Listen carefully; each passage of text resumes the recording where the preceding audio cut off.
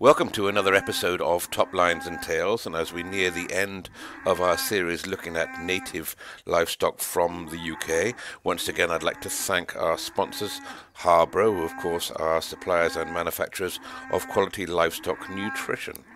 Black cattle have not only been in Wales since the Bronze Age, but featured in everything Welsh from folklore to poetry to romance to stamps. I'm delighted to have on the podcast this week a breeder of long standing, Alwyn Jones from Denbigh in North Wales. And uh, welcome to the, to the programme, Alwyn. Thank you very much. And I'm ashamed to admit that uh, you might be the first Welsh person that uh, we've had on this show. And uh, I'll also admit that this episode may be a bit of a challenge for me pronouncing some of those uh, long names with a lot, a lot of L's in them. and, and you've got a bit of a challenge there, Owen, as well. I think the weather's just coming against you just now, too. Yeah, that's it. And oh, when the the, Welsh black cattle weren't always black, though, were they? They're not all black anyway. Didn't Darwin mention that some of them were white with red ears? I don't know when that would be the 1850s, I guess. Well, there are some Welsh white still about, and some belted Welsh still still about uh, in North Wales here. Um, around the Meirionnydd area, um, they sell them in Dolgellau now and again, you know, and they go through as Welsh White. Uh, then, um, but we are the Welsh Black Cattle Society, aren't we? You know, mm-hmm. um, there, there are a few with uh, red in them, but mainly those were mainly in Canada okay. and Australia. We have had very few in this country. I think we get the odd grey brownish one mm-hmm. once, but um, you know, like we like them to be um, the identity of colour really varies from uh, rusty to jet black. Okay. R- rusty at the tips, really, you know. And would they discriminate uh, against the ones that have got blemishes on them within the society, or do they let them register them everything? Oh yeah, they're, they're registered. Um, but uh, we, as breeders, we do look for anything that has got white. We'll, uh, white is allowed mm-hmm. on the underbelly as far as the navel, uh, up to the navel, but okay. anything in front of the navel, navel we just uh, um, take it as you know, but they are registered. Okay, you know. okay, that's cleared that up then. So there are a few coloured ones, but obviously they are a black breed. And if we go back to Wales as a country, really, it's a country steeped in folklore like no other. Really, there's stories of elves and mystical cows from the underworld, and to the outside of this, it could all appear a little bit farcical, but it's taken very seriously, isn't it? The folklore in Wales. Yes, yes, it is. You know, the, as you mentioned, that they were on stamps and things like that. But also, the first bank in Wales was with the Welsh black cattle on it, and because this was during the drovers' time, uh-huh. and they became their cash. Really, the cow became their cash. Yeah, okay, we'll talk about that in a second. And uh, I think in this episode, it's probably time we did explore the origins of maybe all cattle in UK with. Uh, a little bit more of an ancient history lesson. And I thank um, Jenny Buckton for her help with a wonderful book that I've been reading. And so eventually science did prevail, and studies prove that the origin of the cattle in Wales came from the Auroch, or the European ox as it was, uh, as did pretty much all the breeds in UK, developing as far back as the Bronze Age, as I mentioned, when uh, they'd apparently walked across the frozen sea to the UK from, from somewhere else, and uh, 7,000 years ago. And seemingly the, the woolly mammoth and the hippopotamus and the rhino all came as well, but they didn't survive the, the ice age. But uh, these aurochs did, and, and they were big cattle. Uh, when Caesar was said to describe them, uh, the aurochs, as uh, beasts slightly smaller than elephants. Yes, yeah, they're, they're quite huge animals, really. But we try we try to keep them, you know, size wise. Uh, we'd like um, a deep cow shorter legs these uh, days, you know, mm-hmm. but but get the depth of body in them Certainly, there will have been a change since the uh, original aurochs, and if we carry on through Neolithic times, it would be the Spanish from the Basque region who would first populate Wales and domesticate the aurochs around 2500 BC, so still a long time ago, falling, forming settlements on the lower lands, of course. And archaeology shows us that after the domestication, the animals did become smaller once they'd been moved away from their natural habitats in the mountain forests. And the, the Iberian Spanish would uh, have also brought their own cattle with them. We know a little bit about the Spanish cattle because, of course, they were the origins of the Texas Longhorn in America as well. So, good cattle, I think they brought across, but I guess by crossing those and maybe killing the larger ones, as you said, the, the animals in Wales got down to a, a more manageable size. Would that be about right? Yes, yeah. You know, like to finish a beast, a good Welsh black bullock in the olden days, I mean, Father's Day, you know, we'd be finishing them at 1500 weights, which would have been 750 kilos, yes, yes, you know. Yeah.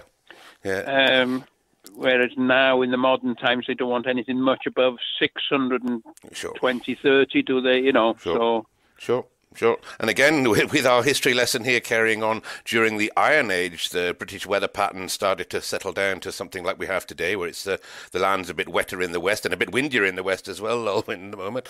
And uh, a, a, pattern of moving animals onto the higher ground in the summer evolved, and uh, where entire farms would move from one place to, to one time of the year and then uh, up onto the mountains at the other time of the year. And this this pattern sort of re-emerged yeah. back in the Middle Ages again, but it was not uncommon in Wales and Scotland through through to the 19th century, where they just, they just decamped up to the hill and then uh, back down again in winter. Yes, this would be known as the Hafod and Hendre in Wales.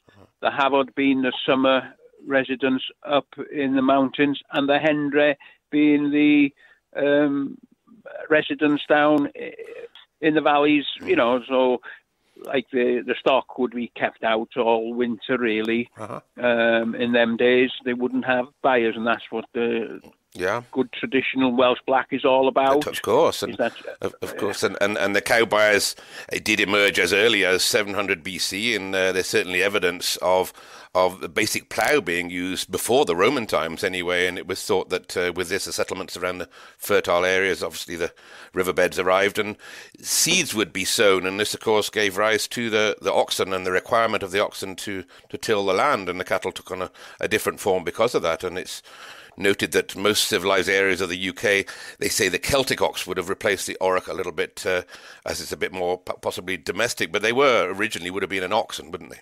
Yes, yes. Um, a friend of ours, I should think, would be uh, William Jones Caerberllan, which you would have known mm-hmm. through Smithfield, mm-hmm. and he he did uh, make a program of oxen uh, pulling carts and things like that uh, in the early 90s, I think he made a program about it. Brilliant. They still got the strength to do it. And of course, the animals did evolve a little bit into a different shape once, the, when they were needed by being heavier front shoulders. But let's just move to this history lesson because I think our readers might find it quite fascinating that it, it should be mentioned that these Western Spaniards were, of course, what we now call the Celts and uh, a pretty barbaric race back then they were. And uh, I won't say still are. And some, they were mainly driven from Britain due to subsequent invasions, of course. And then, but they remained in the poorer lands more in the West, bringing with them the tradition and the language and the art and even aristocratic rule. And again, well documented that the Celts had a tendency to fall out with each other, uh, often raiding areas and nicking anything they could get their hands on,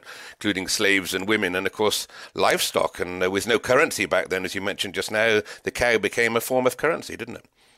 Yes, yes. Um, there's reports from Anglesey alone going to London.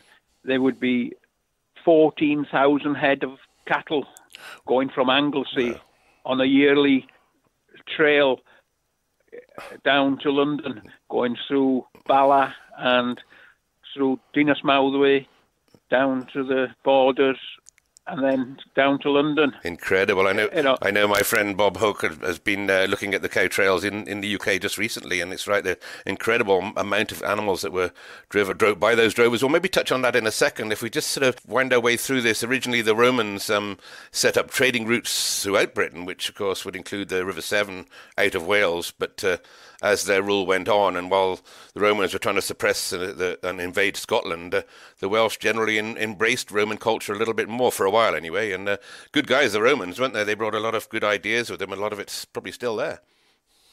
Yes, yeah, they brought a lot of good things, especially um, road structures and the bridge buildings, and you know to to go across the ravines and uh, places of steep uh, it made it a lot easier to walk these stock from place to place, you know. You know. Sure. And then the Romans left, of course, and the, the Irish took a fancy to the Welsh coast for a while until the, the Saxons got involved and they took just about everything in England, including Mercia, of course, which is the border county, of the Midlands as we know it now. And from there on they started to strangle the trade routes from Wales, and uh, they had a good go at raiding uh, Wales too, didn't they? Until some bloke called Offa built a wall between them, and uh, I was never quite sure whether it was built to keep the Druids in or the English uh, out. Uh, perhaps that's a discussion for another day. Uh, um, I think it was to keep the English out. I think you'd say that. I don't blame you. And the, the country then united under Llewellyn the Great until uh, William the Conqueror came along and built a lot of castles in Wales, and everybody seemed to get on,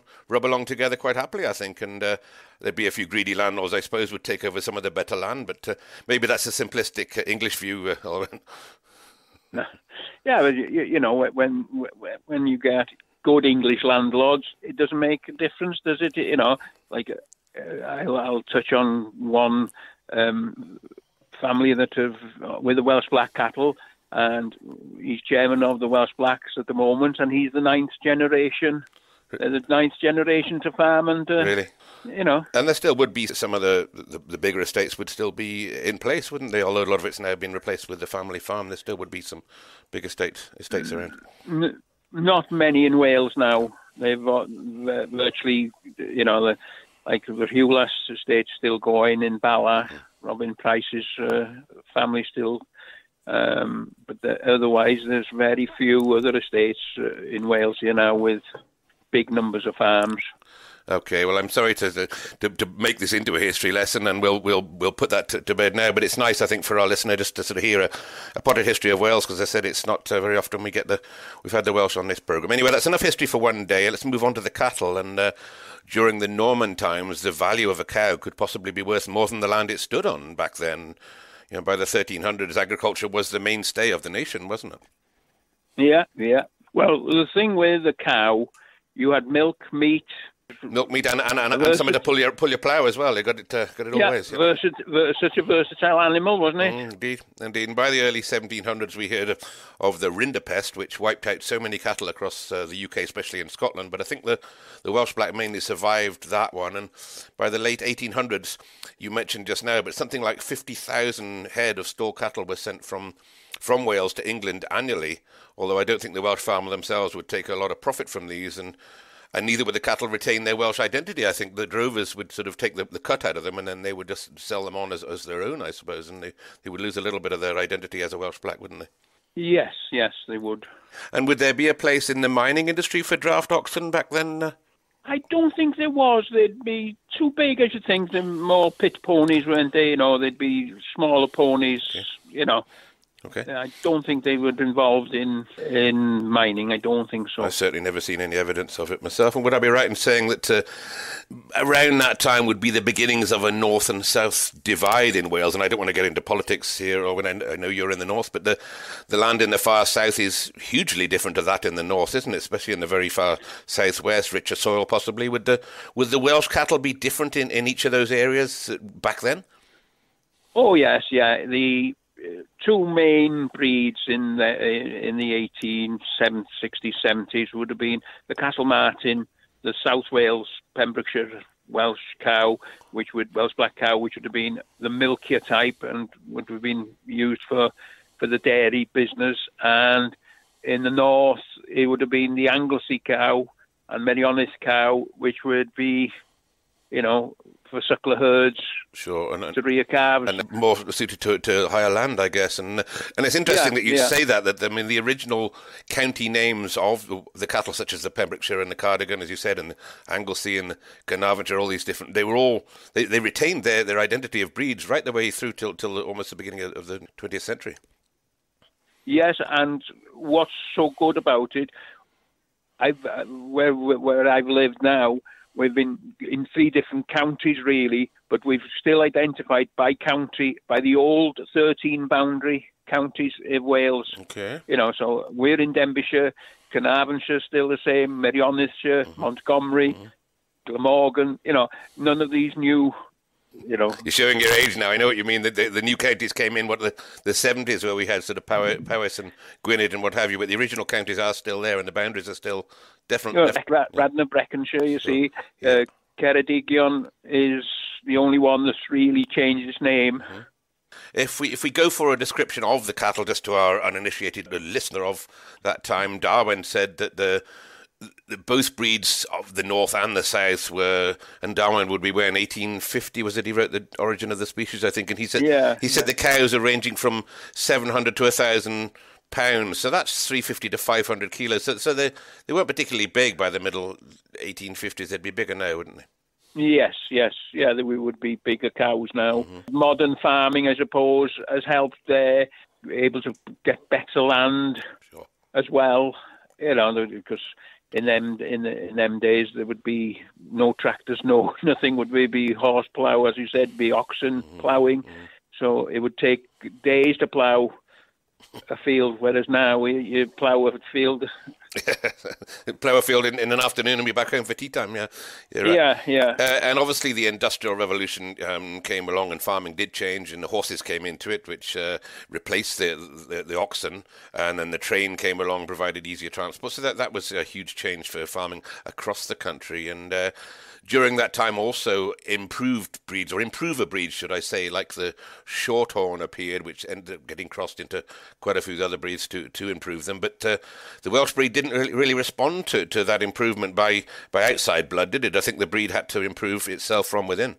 Oh yes, yes. We they've kept very pure. You know, the, some of the north and south have mixed, but not many. You know, the, the, the traditional. Uh-huh. you know, like very few bulls are, are produced in the south um, to be sold to the north. That the south do come and buy bulls off the north uh, from North Wales, uh, and you know, as mm-hmm. later on I'll mention that it's you know the main bull sale now is Dolgellau, yeah. whereas uh, in the 60s and 70s you had Menai Bridge, Llanrwst, mm-hmm. uh, Dolgellau, mm-hmm. Llandovery, uh, you know, Re- and, regional, and yeah. Monmouth now, yeah. Abergavenny, mm. you know. Yeah, regional. But that did, divide still did still stay in place though for a while. And a man called Morgan Evans went out on a limb, I believe, and had a herd of uh, of both north and south uh, um, uh, Welsh black cattle there. Which I think he tried to produce a herd book in 1867, but uh, nobody was particularly interested at that time. And then a herd book eventually was compiled uh, by J. Bowen in 1874, but I think that was just the southern type cattle, is that right? I think there were 96 yes, females yeah. and 56 bulls in that book, but they would just be the south ones, would they? Yes, yeah, yeah. And then even after the second herd book, there was still a resistance to crossbreed from the, from county to county, let alone from north to south. And many yes, pe- many people thought just by just doing this, it would lead to deterioration, which uh, which is um, quite, quite surprising. I think when a lot of people at that time were looking to improve by by crossbreeding, these people were keeping them very pure. And it was the second book was produced by R. H. Harvey, who himself did have some crossovers. Are, are those books still around, uh, Olwyn?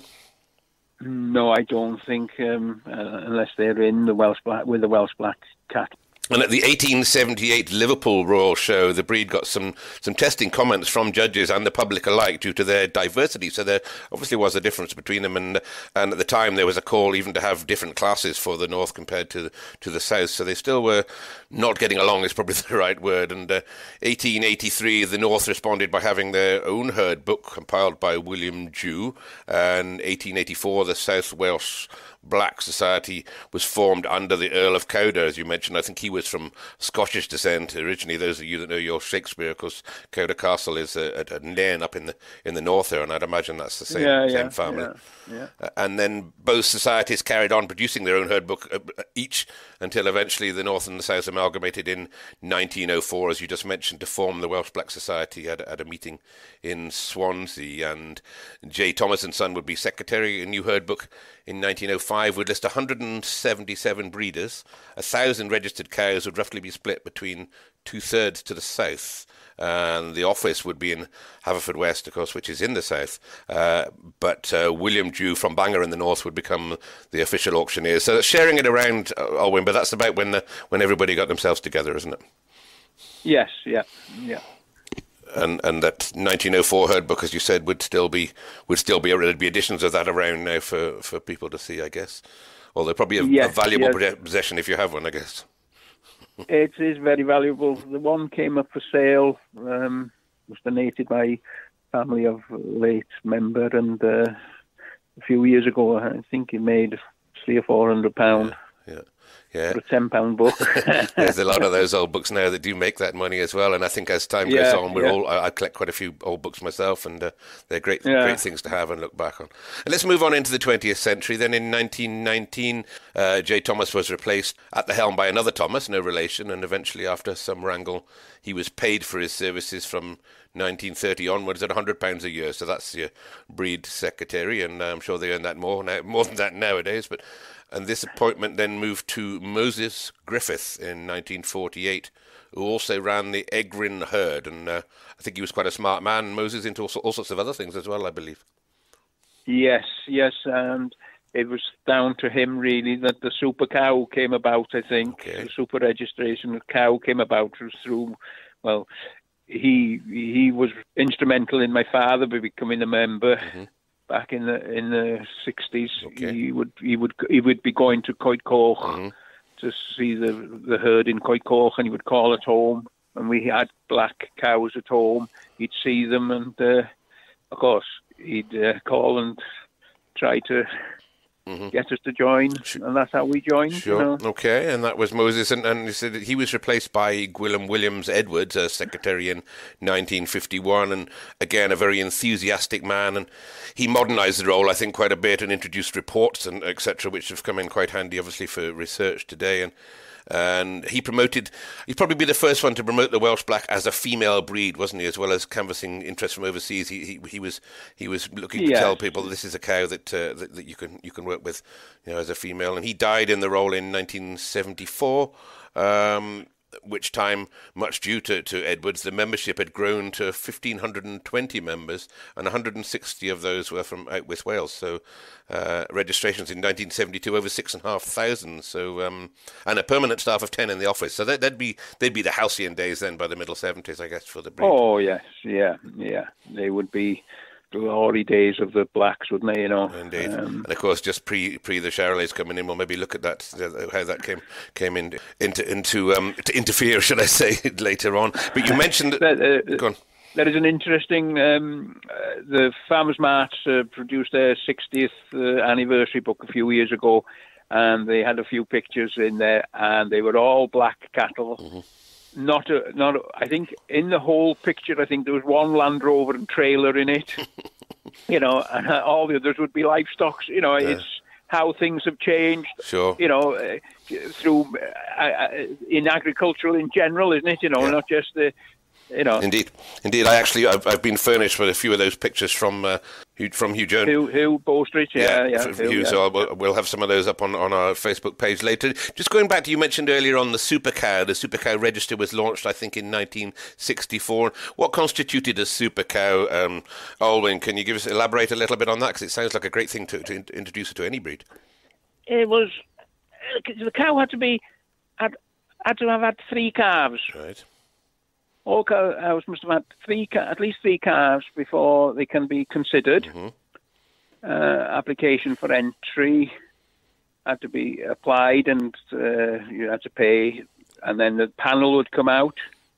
Um, applications had to be submitted, uh, giving data calving, so that inspection could be arranged, and within 30 days of the next calving, sort of thing. And then, in order to uh, try and obtain uniformity, all the cows w- would be inspected in what in the same year by the same panel. Right. Okay. That's- So there- there'd be a panel of people going out to see the cows, and uh, they'd be the same that went everywhere in that year. you Right. know. Roughly how many? What, what sort of percentage of cows would make it to a super cow? Would you know? Oh, in '66, I think there was 12. Twelve, uh, only twelve super cows in in. Yeah, in uh, yeah. okay, so we are talking the best, the best of the best. And would these animals get accolades by being at the shows as well? Was there any any merit from from winning championships with it with the same cows? Oh yes, yeah. Um, all cows. They'd have the super register cow uh, behind them in if for the sales and the shows and whatever. You know, it's uh, Uh, good mothers and milkers and regular mm-hmm. breeders. And would they then um, become the backbone of the breed just purely by the fact that they were they were such strong animals? Would they start? Oh yes, yeah, yeah. Everybody you know, agree, uh, Yeah. Well, yeah, everybody was looking for uh, if they had a heifer or something in a sale out of a super cow. You know, it was looked out and mm-hmm. made the best prices normally. You know, sure, sure. Okay. what a great um, idea, and that's something I've not heard of. In, in there have been other breeds yeah. where they have tried to, certainly in the Luing breed, where they've tried to sort of maintain the quality of the animals by inspecting the, the mothers before bulls could be sold. But I've not really heard of a of a breed that's put a, a super cow register together before. That's very forward thinking, I think. And uh, as you, said. oh yeah, it was very forward thinking by Moses Griffiths and, and uh-huh. In them days, uh, William Edwards, you know.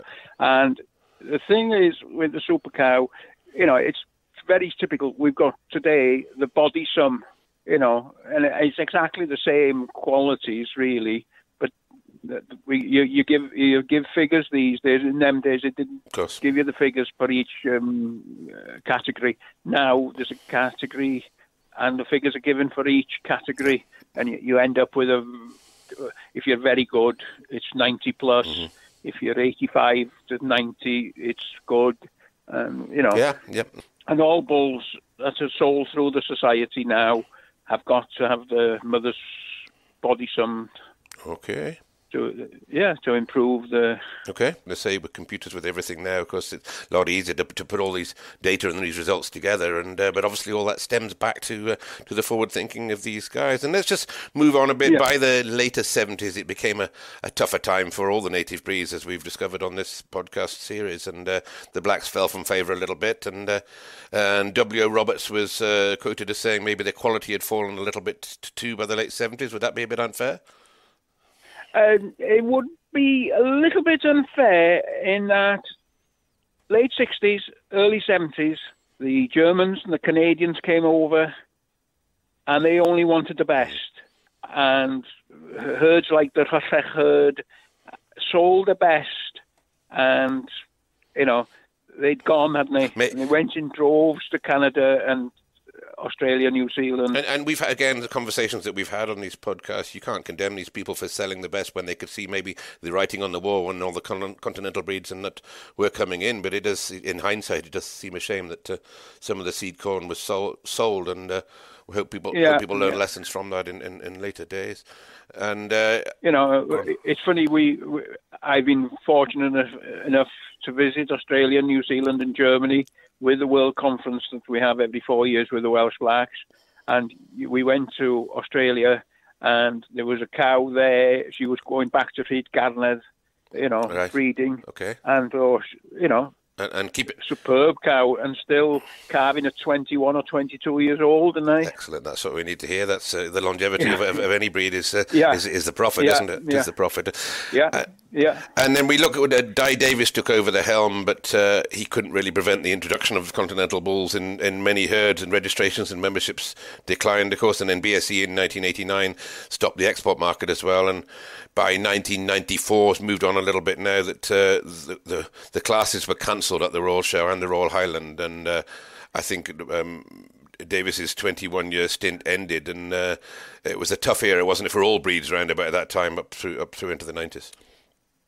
Yes, uh, but uh, what happened? I think we won the Burke um, Trophy, didn't we, at the Royal Show. Yep in the end in the year 2000, I think it was, yeah, with William Martin Stewart's cattle you know, and uh, it brought back a little bit of, uh, of interest yep. interest into the into the cattle. I think. Sure, I was going to mention that you did win that, and we'll probably give it another mention in a second. And enter after to Dai Davies, of course, in came Evelyn Jones, and uh, again, extremely keen in, in the breed. And I remember Evelyn, and she applied for and received a half a million pound grant from the Welsh government to form something called the the Five B project to promote the breed. And I remember her well. I think she might still be at the in the society, isn't she? Uh, oh, well, what did the Five B project achieve? What was that about? Well, it's a forefront really of the battle uh, to eradicate Johne's or John's disease okay. and enable the breed to secure exports uh, eventually to Denmark and Germany. Uh, okay. You know, but as, as in the 70s, we have not seen many of the cattle on offer from the the herds like the Castell and the Kennan herd, who, who in 2014 had 30 cattle exported right. to those countries, you know. And of course, we haven't seen, previous to, to 2014, Kennan and Castell used to be in Llandovery there, and they'd have 10 or 15 cattle, mm-hmm. heifers, good heifers for sale, mm-hmm. you know, and we've lost them in this sort of this era generation. Yeah. Okay. Yeah. Okay. And just going back to that five B. So you're saying the five B project was basically a health scheme, was it, to to to, to make sure that the cattle had um, gained enough health status that they were for export? Is that right? Yes. Yes. And another thing that came about it was bull trialing. You see, um, at Ibers, uh, you know, mm. back in the '60s, it was at Lacy Heath, wasn't it? You know that the trials had done on, done on the bulls, mm.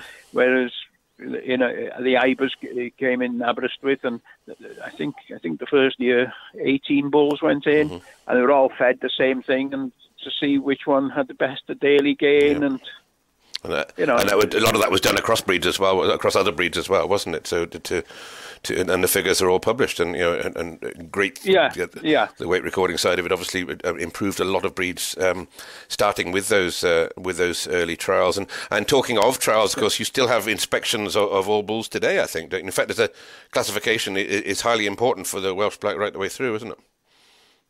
Oh yes, yeah, yeah, yeah. Uh, not many breeders will enter a bull um, not to be able to sell him in the sale. So, so they yeah, are they inspected on farm before the sale, or they just inspected when they arrive at, at? Inspected in in Dolgellau, okay, yeah. Okay. yeah. And, and something I need to clear up here: the breed, of course, to our overseas listener, the Welsh breed, of course, is, is very much known as a horned breed. But is there a, a polled variant out there? I believe there is. There is, yes. Um, mainly, again, in the south. Um, mainly in Carmarthenshire, mm-hmm. uh, Radnorshire. Um, Obviously, a desirable trait, isn't it, to have a to have polled animals? But in many cases, when we bring in the poll, it brings blood from outside, and sometimes would yeah. be detrimental to the carcass. So, is, is is there a for and against that? The, the, the poll side of it is that is that breaking away from tradition a little bit? Uh, no, yeah, it is a little bit, but uh, you know, we're uh, there's not much crossbreeding. One or two have tried it, but it's not. It doesn't really work. I don't think so. Mm-hmm, okay. Um, because uh, we, there's always a case of oh that that should be a polled one, and yet it's got horns. You know. Mm-hmm. because it's taken over the mother side instead of the bull side, sure. doesn't it? You know, because mainly it's the bulls that are, are um, uh, there are two or, two or three herds, Rhyddel herd and Hirwain there, um, Howell Davies, he's got a polled herd, Caffdine. Mm, okay. Uh, they're, they're, they're, they're polled herds, you see, down in that area. Okay. But, uh, okay, but it, there's one, there's one, there's one in in Meirionnydd, I think. There's one in just outside Dolgellau in Brithdir there. Mm. Uh, he sells uh, polled cattle in Dolgellau. I know that. Mm-hmm. Okay. And uh, the breed, of course, as I mentioned, is a hardy suckler cow breed and still its main purpose, great milkers, aren't they? But before we move on to the modern day, can we just have a look at some of those, a few of, of breeders and sires that maybe influenced the breed during those years, maybe from the 60s sort of onwards? I've got I've got a name, Jenkins, here from Maes Gwyn. Would that be right? Who lived till he was 104. What can you tell me about him? well, yes, and then his uh, family still still have herds these days they uh, he would have been at Neuadd. Um, Howell took over the son, and then his son William is running it now. Then there'd be a brother, uh, D. Bennett Jenkins at Caran, mm-hmm. and then at, at Gwilym at Tynagraig and Arglwydd. They're all the Jenkins family, okay. in, all in Aberystwyth, and, and having very, very good cows. Uh, you know, like J.M. Jenkins, who you've mentioned. He was president from ni- in 1943-44, okay. and then uh, Bennett was uh, in 1992 to 93. Mm, okay, okay. And these and these families, you see, who are into the blacks, um, people people people from the same family come come back in this for a second and third generation as presidents you know, brilliant to see that, they, they stay at it. And uh, um, yeah, one name I remember going back in my younger days would be Malcolm Richards uh, as, as, being a top man, large as life character Malcolm was. And I remember him having a bull called Urch Edward, I think, and uh, oh, be back in the in the. I suppose the late seventies, yeah, sixties. Yeah, well, well, the, the herd in the sixties and seventies was, you know, the herd of the of the time. You know, um, fortunately, Mm. there is one one brother still at it now, and he's, he's Sarn Vine, his uh, prefix, because I don't think anybody with the arch is doing anything. Okay. You know, it's it's it's funny that there are herds out uh, out there, and they don't register anymore. It's a pity, really. No. Would some of them still have the cattle, but maybe just not register them, or were they just sort of? Oh yes, yeah, yeah. There's one, there's one fa- family which you know they sell in Dolgellau quite regular in in the store sale, Uh-huh. and they've still got the same type of cattle as they had back in the s- 80s and 90s and the early 2000s, Okay. but they just haven't registered since. You know, Sure. and I don't know why. You know, no. Okay.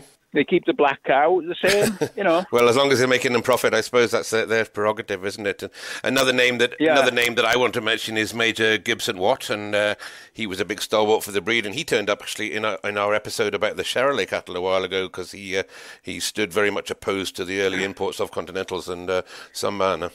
as well as his stockman would have as well.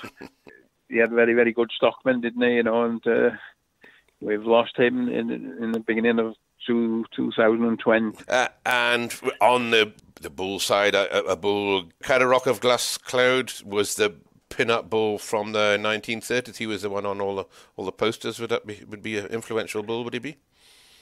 Yes, um, but uh, you know, later on in the late 60s, early 70s, you'd be you know, the Royal John. Rhysech would have had quite a run of bulls, I should think. You know, Rhysech Cow, Rhysech Prince, Rhysech Nero, you know, Nero, you know. And of course, you've mentioned Park, and it'd be Park Baron, and you know, there'd be bulls of the year, you know, there'd be Sure. And the bull of the the bull of Um, the year was is something to would that come down through the show ring through the show ring to how do they get to? Oh bull yeah, of the- uh, uh, show ring or uh, that's where the bull of the year, and that, that's why they have stopped that competition uh, two years ago. And, and unfortunately, we've not had a chance to trial it out in very in different ways because of this COVID. Yeah, you know, no shows um, because uh, Yeah. we were we were planning to look at it another way. okay.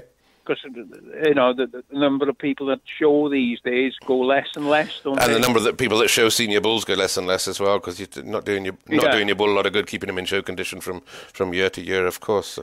No, no, and and the thing is, like, if you go back, if you go back to '66, 1966, when there was 222 bulls offered for sale wow, okay. in the in in in the sales, Mm, and you go to 2019, Yeah. and there was 52 Yeah. 52 bulls offered for sale, society sales. Mm-hmm. Like- You know, the, the the pool is getting very very small. Sure. You know, it's getting We move on. Uh, by by the year 2000, there were 850 members, so there's still you know still a reasonable membership. There, 2,500 head of cattle registered uh, that year. And what what number of, of cattle are being registered uh, this year? Do you know, uh, or last year, should I say? Do you know that? Alwyn? last year would be, be about around the 18, 20, 18, 18, 20 mark, and that would be from 590 registered Okay. breeders. Okay. You know, Okay, so you're still you're still there, and and uh, yeah, a powerful force, and of course the Royal Welsh would be the showcase of the breed. And what sort of numbers do you get at the Royal Welsh these days? Again, we haven't seen a show for a couple of years, but uh, what sort of numbers would we getting there? well, uh, as you say, this is a showcase of the, you know, and we nearly, we were nearly having to be lose that first ring because there was only 18 entries in one year there. At, anyway, in, in 2019, we did come back to 57 entered and 48 turned up. No, that's You know, that'd still be the biggest breed in the show. I guess, biggest numbers from any breed in the show, I guess. No, I think the Limousin's and they have more. Okay. I think, don't they? You know, Okay. but the Charolais, the Charolais had fallen in 2019. Mm-hmm. I think they were down to about 13 or 14 that year. Mm-hmm. You know, but uh, there are other problems with this TB and things. Builth and that area, you know, is TB Sure. high high risk area, isn't it? Yeah. You know, and people just, you know, the way I want to take my cattle to? Absolutely. I mean, right, I've heard tales of people in, in, in, the UK moving farms up to Scotland so they can get out of the TB area. So it is it is a massive issue, of course, amongst amongst all breeds. Just just you mentioned earlier on that the, the, the Welsh Blacks won the Burke Trophy, and they did in 2000. That was a great start to the millennium. And just remind me the cattle that were in that Burke Trophy pair there. Uh, you mentioned just now. Mynydd William and Marigold, yeah. yeah both from Martin Stewart. I certainly remember, remember them in a great spectacle uh, that they were that that year, and, and well and, and well yeah. and easy winners, I think. yes, and uh, I, I, I don't think enough um, mention has gone to the cowman there who prepared those cattle. Okay uh, Gwyn Roberts, Kilglassan, wasn't it? You oh, know, it? Yeah. yeah, yeah, or Gwyn, yeah. you know, well, some some showman. You well, know. we'll mention Gwyn because I was going to go on to, of course, the Royal Smithfield show, and the Welsh Black had a great representation at Smithfield and Bingley Hall for that matter. And I know you brought cattle down, Alwyn. I, I think I clipped a few out for you going going back the way. Uh, first in the 1990s, and but I, going back a bit earlier than that, it would be the Stow Innes family that I remember that always stick in my mind. Brought cattle to Smithfield and and uh, some great cattle, always shown naturally back then, though. It's sort of long before we got the. Oh, the yes. Yeah, yeah. Yeah, big cattle, uh-huh. you know, 700 pluses, wouldn't they? Yeah, yeah. And and uh, Edwards of Penball, mm-hmm. Anglesey. Uh-huh uh, Tom Edwards, uh, Will Will's big supporter, wasn't he? You know, when we were all blowing and dressing him up, they'd just go around with it with a knapsack spray with a bit of water and creosote in there, I think, and just spray it on him that's and leave it. him to sleep. That was that's about all they did, and go off to the bar. yeah, that's it. And you mentioned of course, uh, another great uh, great man at Smithfield. Another man I want to mention is uh, yeah. Dai Jones at Llanilar, and I think he went on and won the Queen's Cup at Smithfield. I think it might be the same year, maybe. Um, was it 2000 as well? And of course, Dai, past president and a great ambassador for the breed and for Wales in general, isn't he? Oh, exactly, exactly. Uh, you know, like in 2004, it was his vision, I think, when he was president to uh, to start the World Conference. Because okay. he'd been abroad a uh, number of times, hadn't he? And he'd seen cattle abroad, and it was one of his visions. And mm-hmm. uh, as I say, we were, you know, we've had the World Conference in 208 in Australia, 212 in Germany, yeah. 216 in, in New Zealand, yeah. and then we were supposed to have it back in Wales in 2020. Okay. But of course, that went by the by. Oh, well, maybe, maybe it'll still get there yet. And of course, going back to Dai, oh, yeah, the yeah. people that don't know Dai, of course, he had a TV um, presenter, wasn't he? And, uh, or isn't he, should I say? And, uh, uh, and a tremendous, a tremendous man. Um, and always good, always quick with a joke, and always always had a tale to tell. Oh yes, yeah, yeah. and, and, and uh, you know, like like like Gwyn won the Queen's Cup as well, didn't okay, he? Okay, yeah, yeah. In in Smithfield uh-huh. with an AGI, with an AGI beast. Okay. Um, uh, will, and the, you know, that's a herd now. It's been taken over by a young lad. Um, no relation to the family there previously, but he has been able to keep the herd. Um, we had the sale for John and Lynn a few years ago, okay. and um, you know mm-hmm. they've both passed away by now. Okay. And uh, but you know they had some tremendous cattle. Yeah, yeah, not, indeed. not very big, but mm. very, and always in the in the in the Dolgellau mm-hmm. female mm. sales they would be in the in the prizes in the money. And, and, and, just, I suppose, while we're talking about Smithfield, of course, the Welsh Black are a beef breed, and, and uh, Welsh Black beef has been extremely well marketed, or branded, I would say, in actual fact. And, and, can you find Welsh Black beef in the supermarkets these days? Who, who are the main players uh, slaughtering selected beef uh, nowadays? Well, we we have got a scheme going through the Welsh Blacks, and um, there's a, a, premium to be had through Kepak. Mm-hmm and I don't know who they supply in the eventually, but um, but there are like Ieuan Edwards. I don't know if you've heard of Edwards at Conway, mm-hmm. who does the sausages and things, but he supplies a lot of hotels and catering places with Welsh black beef. Okay. Um, there's mm. Lorraine and Sue Williams down in Glamorgan. There, they've got a shop and they promote and produce their own um, meat for the shop. Uh, but this is this is what when we went over to Germany in 2012, mm-hmm. it really opened our eyes out.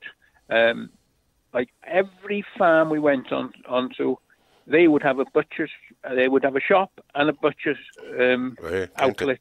Yeah, to, yeah, you know, to sell their meat mm-hmm. and every every farm we went to, you really? know, we, I think we we visited twelve. I think I think the biggest herd when, when we went over in 2012 was Hans Stucker, mm. who had 100 Welsh black cows. Right and, and selling beef at the farm gate. And of course, we see a lot of that with uh, now starting to happen, especially with the, the, way the internet and maybe the COVID thing has pushed that forward a little yeah. bit. That people are selling boxed beef uh, sort of over the internet and what have you. But I think again, as I said, the, the, as a brand, the Welsh Black would probably be. I'm going to get shot for saying this, probably be second to the Angus as, as actually as, as branded beef. And I know on, on the Welsh Black website, there's a, there's a pretty much a whole page of suppliers of, of Welsh Black beef out there. Yeah. So uh, anybody wants to get any, just go onto the Welsh Black website and uh, and pick your pick your place and get some on order because it does yeah, it, yeah. It, does, it does eat very well, doesn't it? I'm sure you'll re- you'll highly recommend it. Yeah, yeah. Well, you know, we're lucky in our, in our area here. We've got Poynton's in Colwyn Bay and Llandudno. Mm-hmm. You know, Colwyn and, and Llandudno, and they're supplied by three local farmers with their Welsh Black beef. You know. Mm-hmm. And uh, we're very, very lucky. Well, as I said, it's not just lucky. I think you guys have kept it kept it together as a brand, and, and, and a great credit to you and, and, and the Welsh nation. And we, we should just maybe have a look at a couple of other top breeders before we get to the end of this this episode. There, I want to mention Hugh Jones, I mentioned earlier on from Bow Street, who sent me some exceptional photographs, forty or fifty of them, I think. So we'll get some of those uh, available on our on our Facebook page later. And who yeah. else should we who else should we mention? Who's at the top of the breed uh, just now? Is there one or two people dominating, well, or, or, or we're sharing it around still? Well, at the moment, I just think uh, the Haverford herd would mm-hmm. be at the top there. You know, they they hold the record for the top price bull. What is that record? Uh, Twenty-two thousand okay. guineas. Uh-huh. You know, and they're always uh, always in that three thousand plus for the females. You know, I don't think we've broken the four yet. I don't think so. I think okay. I think we got close on a couple of occasions, but uh-huh. I don't think we've broken through it. Okay. Um, of course, Greg Greg Goch herd are always uh, producing some fantastic, um, and the Seychug, you know, uh, Tequin and uh, yeah. and Emir, two brothers, they're mm-hmm. always producing uh, the, the, top goods. But, yeah. yeah, but mm. lately the top prices have been coming from Cyranwch herd. Okay. They, they, sold one in January for fifteen and a half thousand. I saw him. I know. had a picture of him. Yeah, yeah, it looked a good beast. Yeah, yeah, okay. yeah. Uh, and, and, then, and then there's Monach, uh, Arvon Williams, the Monach herd. Um, they're always uh, good females and bulls, really, from Arvon. Uh-huh. Um, always competitive prices. Mm-hmm. Then uh, there's Glyn Williams uh, uh, from to the Dacus in Glytherin with the Dacus herd. He's coming up well lately, you know, okay. with both bulls and females. You know, he's getting towards that 2,000 with his females, and you uh-huh. know. And, and, and, then, uh, and then Briscaga is always uh, a Briscaga bull comes in the ring, and you know it'll always sell. You know, okay. you, you're going back to breeding when J.P. Rees was, was past president, and he, he, his breeding goes back to um, Edgar Garner um, and he go back to being champion bull in the Royal Welsh in 1950. Right. Okay. One to 55, and I think you know a lot of that genetic stuff on, pulling on, through. And, you. and that, w- that would be Egrin Garner, you see, and that would be down to uh, Moses Griffiths then, wouldn't it? You know. Mm-hmm. Yeah. A bull yeah. bred by Moses Griffiths. So we're going back to the same people. Mm-hmm all the time, and you know, uh, uh, uh, you know, like like in Anglesey, you've got the uh, W.J. Thomas, then his son O.G. Thomas, and now Brian's taken over the Chwain herd, and then Carwin's there now as well. You know, okay. there's four generations of and, and you know, it takes years and years, doesn't it? You know, to it certainly does. It's not just one lifetime; it's two or three. You did right. No, it is a long. It's, it's, a, it's a long commitment. You know, and like recently, the Treville herd, Johan, Johan Roberts on Anglesey, he's having quite a few successes with his bulls and his females, you know. Good. And uh, um, as I say, there's Llanfachredd, um, Bach, Lewis Williams Bach, Llanfachredd. Well, he's always got four or five bulls in a, in a sale, mm-hmm. and he's always in that ten up to ten thousand for his bulls. That's, you know, that's the pen you want to look in when they've got a few of them there to choose from. of course, you have the Prince of Wales as your patron, and, and rightly so. But uh, brings me round to yourself, or when you're a, a, a, council member of the society and a judge as well, and of course you still run your own uh, Welsh Black herd there that goes back a couple of generations. Uh, tell me a bit about them. Yeah, well, my grandfather was in, he wasn't in the 1904. He said he was. Uh, my uncle said he was in the 1905 one. Okay. They didn't put anything in the 1904 one. Mm-hmm. Then my father was in nine in the 60s and 70s, as I said, and I came in 1990. I started my own herd. Mm-hmm. Um, I've only got a small place and uh, seven cows, a couple of heifers, and uh, and as well as a judge, I believe you you've been an auctioneer as well, haven't you? Are you still? Yes. Are you still? 51 years. 50, no, retired now. Retired okay. after 51 years. Uh-huh. But I do remember. I do remember. We had. We were sworn to secrecy at the Rhyn Estate, Rushton Stones.